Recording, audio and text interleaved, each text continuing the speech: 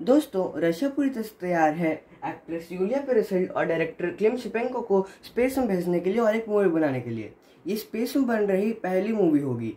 पिछले साल Tom cruise ने भी कहा था कि वो स्पेस में एक मूवी बनाएँगे।